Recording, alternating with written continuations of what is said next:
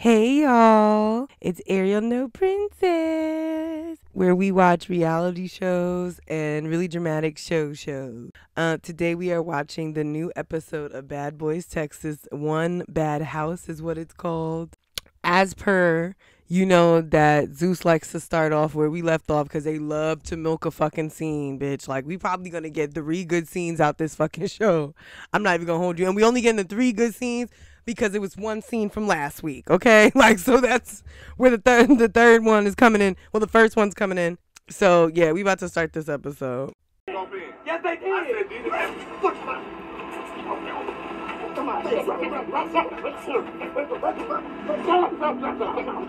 Now Big Lou and Relly over here fighting. I'm like, y'all got something on y'all chest? Get it off y'all chest. Get active. So where we specifically left off is where Darelle, Relly, Darelle uh, is packing up Big Lou, um, baller, aka baller, no baller, literally packing up Lou because Lou over here talking shit, like wild shit to Jonathan, literally trying to stir the pot, pretending as if that Darelle going around saying Jonathan and uh, Chef D jumped Anthony. In that case, they really like you know he didn't say that they did because they didn't necessarily jump Anthony. It's like more Chef D kind of jumped Anthony. Like Chef D jumped Anthony, not Jonathan. So that's what Darelle was saying to Chef D. He was like, "Nah, you low key jumped Ju- Anthony because you came in right after while Jonathan was getting the best of him, and it hit him right after."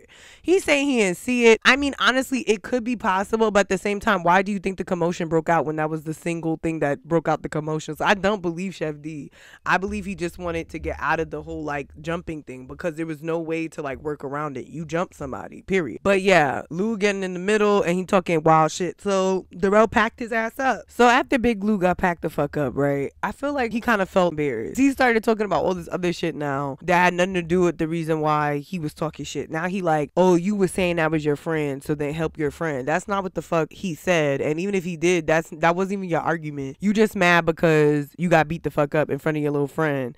That's what it is. You want to impress Jonathan, and in fact, you got embarrassed in front of this nigga. Yeah, bitch. And also, why you gonna try to act like that wasn't the like the whole argument with him, right? Initially was the fact that oh, Rel saying you jumping people, like oh yeah, Jonathan, Rel saying you jumping people. They're like some Randall ass nigga, right? And it's just you know damn well that's not what he said, and now you gonna switch it up to oh you want to say that they that they jumped your friend to help your friend. Like, shut the fuck up, bitch. This shit happened so quickly. There was no way that Rel was able to even do nothing. Like, how the fuck was Rel gonna even get there? Literally, Jonathan hit him, and two seconds later, Chef Chef D hit him. Uh, Rel already said that him and Anthony do have problems. So. It's, I just I don't really like this uh this big Lou motherfucker. Like I really think he's he really dumb and delusional. Damn, what two lethal uppercut. You saw that shit? Y'all, y'all need to stop this. Oh, bitch, I don't care, big bitch. You know it ain't season one. You know I'm not coming in. Y'all need. I fuck with both of y'all. Y'all need to do it. I fuck with it too, but the thing is, I, if you feel like that, get it out the way. You, I still uppercut you with some nasty. Like, And Jonathan got me fucking weak. Jonathan great TV because this nigga gonna be like, Rel gonna go to him like, yo, you see them two uppercuts? Cause like Rel be knowing what we gonna say. Like Rel was like, yeah, I just gave this man like two uppercuts, two piece, all this shit. And Jonathan gonna laugh a little bit like, no, don't do that. like, what do you, wait, where did this voice come from? And second of all, stop it. What you gonna run everybody over? Oh my God, Jonathan trying to run. Didn't you just beat the shit out of Anthony? Like, what the fuck is Jonathan? Like, Jonathan over here sweaty, his shirt off, and everything. He like, no, don't do it. After he just got into a fight. no more. Y'all looking like crisscross over here. I couldn't make it out the first episode. So, bitch, did you just get out of jail? I did. So in this one long ass scene, we got Kirk Franklin's son, um, aka Crayon, Cravon, Carry on, Carry on. What the fuck? His name is Carry On? Carry On. But it's Carry On, pretty much. This is some churchy shit. Anyways, his name is Kirk Franklin's son. And it ain't Caddy, it ain't no female little dit no, it's niggas is really throwing them hoes. Mo, Mo City? Mo City. Okay, Mo City. The really, really femme looking one, right? He really gonna go say this is no female shit, this no bit. The whole shit is gossipy. So even if you looking at it from like a gender role ass sexist standpoint, this shit is female shit. Like what, the fuck are you talking about? Like this is all gossip shit online and da da. Y'all just beating the fuck out of each other. Bitches be beating the fuck out of each other too. It's just they don't let it they don't let it happen on baddies. Like they're just not they, they be stopping shit. They be stopping fights a lot. I, he told me, Lou, I understand where you're coming from, but I didn't say my friend. This only thing I was telling D. If Jonathan already had him pressed up against the truck, he didn't have to go hit on it. But D said he didn't see it. So it's no beef, it's no blood. No. all right, cool, Yeah, we I can feel like talk all about right, it's no beef. It's no beef. We good. the end of it, Rel is able to explain his side when Big Lou shut the fuck up. And I think Big Lou still had the out. Like he was like, Yeah, Relly's giving me an out. I'm gonna take it. I already got my ass packed the fuck up multiple times. I'm screaming and acting like I wanna fight. It's time to go to bed. like cause it was just like it, it's just too much. Like I hate when people like get their ass whipped and they still go. Like I mean it's it, you got heart to, for doing it, but like why are you doing it? Where, where, where's your heart in? I like at always, and I'm ready to see what the fuck I'm about to lay my head in. Y'all ready? You ready? Look to at Jonathan? Jonathan, petty ass in his Ready to go, hat. Jonathan? Yeah, yeah. I This motherfucker. It's y'all motherfucker. What's that dude I name? got my double cup. I'm ready to go. Am Why the fuck Jonathan got this hat on? Like he really brought this motherfucking hat back. Jonathan is just like the pettiest nigga alive. Like he literally is wearing the hat that looked like the dude's hair that he beat the fuck up. It's just hilarious. Lee, I can't even remember real name. Like I literally had to just ask and do a whole song and dance. I don't remember him. But Jonathan is getting angry and he's like carrying out pettiness that if you didn't see in season one, you wouldn't know about in season two. Because he's just like that type of nigga. Like he like, nah, I'm gonna use my hands and my violence any which way. And pettiness. I just I love it. He makes the show. I'm cool with Jonathan and I'm cool with Anthony. Uh-huh. Right is right and wrong is wrong. You know they had it, but Chef D should have just waited his time. And that's how I genuinely felt. Yeah, I don't like that Chef D bitch. Oh Lord. When I see Chef D, I'ma just talk to him. So, you know, they're all talking in the van, really understanding that, you know, this is a reality show and there's always going to be teams if against another team or, you know, villain, and non villain, all that shit, right? You know, especially with dudes. I don't know why they always, like, dudes are so quick to go to that. it's so quick. They're in the van and Banger's talking to Rel. You know, Banger's just like, Banger not really like fucking with Chef D, and I understand that because like I'm not really fucking with Chef D. I don't like that. Like he's claiming now he didn't see it, but the all his other confessions kind of basically show that he did see it, but he didn't care. Like he don't care like that because even after he did, it, he was like, "Oh, anybody got something to say about it?" And he was getting real active and screaming and shouting about it. I don't, I don't fuck with that that type of energy. You already a big ass nigga. I'm not saying because you a big ass nigga, you should deal with more whatever. They take people shit. You know, I don't like that. Like you could have easily not followed up Jonathan already sneaking Anthony. like that's so much. This Houston house, I think this is gonna break the ice with everybody. Kind of test the bad boy swag. Who's really a bad boy? What is a bad boy? Who's really bad, bad, bad? And who can control the bad? And who can't control the bad? When the bad comes over you. What do y'all expect being in this house? Orlando Brown's fucking like takes on shit and his interviews are the funniest. Him and Relly just act like they dead ass viewers sometimes. Look at how he looking at them.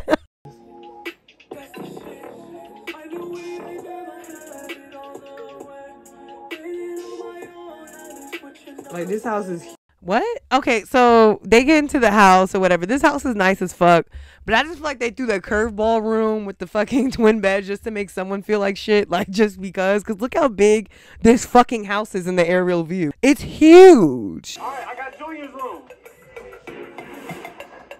I done got the youngster room in the house. Everybody else room was grown, mature, ready for some bumping and grinding. My room, it just looked like they want some water guns. The next house, Yeah. you know everybody else's room is pretty lit. Right, right, right. We're gonna make sure that you get something lit. Yeah, I'm gonna walk in first next time. Yeah, I think that's Oh, so you, we good? You got There was no necessary need for them to do that. But you know, Zeus, like I said, they stay playing with with their talent. That's why I said, like in the last one, they love playing with their talent all fucking day. You know, but I like Raz B. I really do, cause he's like, nah, you know, y'all took you took one for the team, so we're gonna make sure you have a nicer next time. Now I don't know if he's really gonna follow through with that, but it's nice. It's a nice idea and thought, you know, cause Jonathan B is messy. We we'll see. Like you. But the thing is, you don't know what's going on. You don't know what happened. I try, but this, re- listen, regardless of what happened, Jonathan was way more than enough for. I can see Jonathan fighting about. Just let me, just let me say, just let me say what I'm gonna say. Jonathan was way, he, he's enough for him. You understand what I'm saying? So for you to go in there and do that, that was wrong as shit. You don't know me. You don't know what I've been through with Anthony. You don't know what Jonathan been through with Anthony. So why are you jumping in Anthony's beef when you don't know what's going on? He has bullied me online for almost what, a, year? He's How he bullied? So now Chef D over here like Anthony bullied me online for a year, and then and then Big Becca go how he bully your big ass. Like, no, seriously. Because I'm not saying you can't be bullied, right? But then why didn't you say anything the whole time? You was just gonna let it pass until Jonathan hit him first. Like it's just ridiculous. Banger, I respect him because he really don't give a fuck. Like he really told Chef D big ass, like I don't care. I don't like the shit that you doing. And Chef D got all the excuses in the world because he don't want to look like a pussy ass nigga now that he know niggas is not cool with jumping. Because sometimes it's 50-50 if somebody cool with jumping, right? Even though I always used to think like people knew better not to jump, like it was like a code. That's not how people operate. Most people don't operate like that. So it's like 50-50. And he just like he he fully tossed the coin and lost because he none of these niggas is fucking with that jumping shit. Not a singular one. Even Jonathan, Jonathan even say, is not even saying shit now that Rel said what the fuck he said. It's already a consensus. Oh, wow. Where you at? I'm actually about to come to the house now because I just feel like it's just a lot of things that need to be talked about, like on some like for real human adult shit. It, it was a lot, like, you know, I was It's just too much. It's Yeah, too I much was that we bitch. I'm not about to go out like no bitch, so I'll text you when I'm outside. All right. Anthony finally comes through, and we got 10 minutes left on this motherfucking show. We already know it's about to be hell, but I don't know exactly when the hell's gonna start.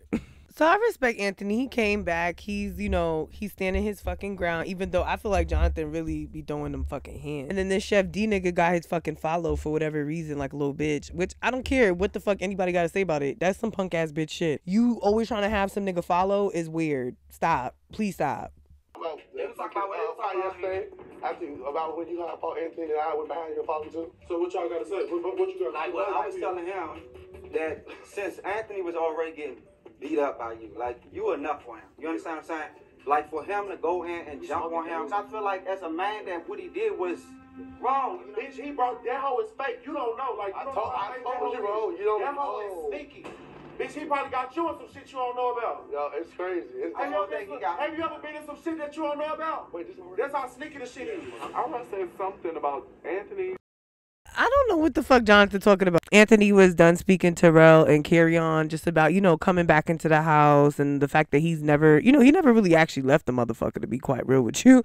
And he wasn't gonna leave the motherfucker. He was just clarifying the fact that, you know, at the end of the day, he's gonna be there. It's, it's, it, you know, it's the Texas. That's where he from. It was supposed to be Bad Boy Houston, but now it's Bad Boy Texas. So he not leaving. Really trying to be like the peacemaker right now, right? And he trying to get Jonathan and Anthony to talk. But I'm not even gonna hold you. Jonathan don't deserve no fucking apology for nothing from the start to the to the end. First of all, you beat the fuck up out of that nigga. Like that nigga got beat up by you. Then you beat his brother, I believe, and then you beat, and then like you ran his friend off the show. So we don't even get to see we don't get to see no remnants of these niggas at all. Like we we not seeing them, right? But but for some reason Jonathan's still pressed about it. I mean, John, they know that. Jonathan's my friend, and Anthony's somebody that I'm cool with. So it's like I'm kind of torn in between, but yet I'm still not gonna pick a side. Are you gonna stay with us, Anthony? Yeah, I'm here to stay. I'm not. I'm. I mean, this is Houston. This is Bad Boy City Two, Texas. I'm here. I ain't no hoe. Like I'm gonna come back and stand my ground. I was mm-hmm. friends with everybody. So what's the situation? Basically, That's a great question because I okay, just so seen the the, flyer. the thing, the thing about it is, Rio obviously from last season and Jonathan have some type of tension, right? Rio hit me up for his birthday and he wanted to come to Houston, and I was like, okay, well I don't have a problem with you. I don't fuck with him like that, but I'm also not gonna treat you like an op. Right. You know, so come spend money, have fun. I'm gonna make sure you have a good time. Jonathan felt like I had booked him, I gave him money, and this, this, and that. And I'm just like, first of all, I didn't. But you're also not about to tell me how I'm gonna run my business and who I can and can I have in my establishment. That's why I feel like the tension between us is like dumb. It's like really nonsense. And then Ro just kind of like set the stage for Jonathan and Anthony to talk. And you know, Anthony kind of starts with like, you know, the shit that you did yesterday was very immature. You're more mature than this. Like our friendship is not worth that. And da da. da. I'm not gonna hold you. I could that could not be me if I was Anthony. Like I would dead ass be like, we're never going to talk ever again. Like the fact that you put your hands on me because of this silly shit is ridiculous. Like I would have been pissed, but you know he's over here trying to be you know friends still.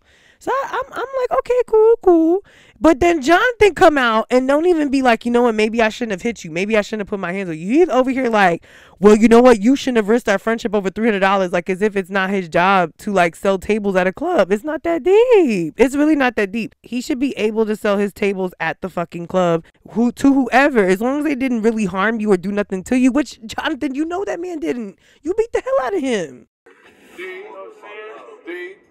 Chef D is obsessed with it. Anthony. I don't even know why for real. Everybody come downstairs. It's time for the house meeting, and I'm a, I'm real happy to see Anthony because I like Anthony, and so I wanted to just stand next to him just to let him know that somebody cared, you know. Grant, do me a favor. Can you let Jonathan it right there? Cool, no problem. So I come in the room, you know what I'm saying, for the champagne meeting, you know what I'm saying, boom, boom. And Lord beholds, these sneaky motherfuckers got Anthony in here. Well, I've been waiting. So, bitch, speak. Let me hear it. What you got to say? Anthony really trying to have this heart to heart with Jonathan. I don't think it's fruitful because I think Jonathan just feels like he's very righteous in it. Like you're allowed to be upset, but what you did yesterday was too much. Like for a friend, that's too much. You know what I'm saying? But Anthony's really trying to look past that because apparently him and Rel and all of them, they just like they was living together. It was a friend group. They was chilling, right? But you know, after Anthony put his attention to Jonathan, it's not going nowhere. He moved his attention to to Chef D and like, "Nah, you a big pussy for doing getting Jonathan follow, ah ah, whatever." And then you know, this same nigga that's over here like, "I don't give a fuck about Anthony." He got all the explanations in the world. And they going back and forth talking about uh Anthony talking about they lived together, but he not really his friend for real. And you could tell it just feel like that kind of bothered him. Like it really kind of bothered Chef D a little bit. So they going back and forth. I honestly thought Chef D was more gonna be on some like I don't I don't really give a fuck what you gotta say. I hit you because you was talking shit. What's up? But he over here having all these other side conversations about shit that we don't even know what happened. This is messy. Back the fuck up. Shit, but no, bitch, you been talking Back the fuck Oh, you got Chef in front of you.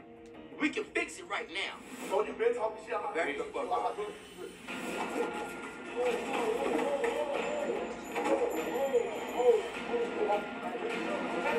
We get the last scene with Anthony and Chef D going back and forth and going at it. And I just feel like Chef D really, really, really was like, nah, I'm definitely fighting Anthony because his hand is broken. Like, I just definitely feel that way. Anthony was like, yeah, I'll fight you with my hand better. Chef D could have easily been like, all right, no problem. Just let me know. Honestly, of course, he know he not gonna let him know because he was sneaking niggas. So now he like, yeah, I'm gonna fight him with a broken hand. Like, you're such a bitch. Like, I hate this. I really don't like him. I'm not. I'm not a Chef D fan. I'm really not. They get into a fight. You know, I, I didn't see no blows, but we're seeing, you know, I know that you saw the fucking clips at Fred. Anthony gets hit in the face with the ring apparently. I didn't see the swing uh get swung. I didn't see Chef D actually land anything, nor did I see Anthony land anything. I just saw them kind of come together and the the security is on it this season. Like usually they just let them fucking fight. But this season they got security up the game. Maybe it's because Anthony's hand was broken. I don't know. I'm not sure. But they didn't really let them fight. But apparently he still got Anthony and with the ring. So I think that is fucking messy. Once again, you're hitting people with rings. You're bigger than every. You're bigger than everybody fucking there. Then you're hitting people with rings that have broken hands that you snuck the day before. That you did a follow up sneak. Not a fan of Chef D's. But what do y'all think? Let me know um in the comments. Do you think that Jonathan is dragging it? Or are you on Jonathan's side with this one? Like, oh, if that was your friend, you like, nah, bitch, you better not let them get that $300 table hoe. Are you on that? T- because I'm not really on that. I really feel like it doesn't really matter. Like, if Anthony wanted to give out the table for $300, like, it's his business. Like, why he got to say no? He did nothing to Jonathan. Jonathan really beat that boy up. So let's move on from that, you know? But at the end of the day, what do y'all think? With Chef D, do you think that he pussy or not? Because I think he pussy. What do you think? Like, do you think it's okay to sneak people, even if you know you'll have ample opportunity to fight them because you're to stay in the same home and the same vehicle for, mo- for like a month? Let me know. Also, what y'all thinking about Banger? Because I like Banger. I think Banger got heart. He don't let nobody tell him nothing, and he and he stand up for what he need to stand up for. Um, and yeah, and what do you think about the other cast members? I think that like uh Raz B and um fucking uh Orlando Brown is just like, you know, the funny like the funny chill niggas. Like they just chill. And everybody else is just, you know, they they cool, they cool. But let me know what you think. Let me know who's your favorite. Like, share, subscribe if you fucking win it. And I'll see you next time. Amen.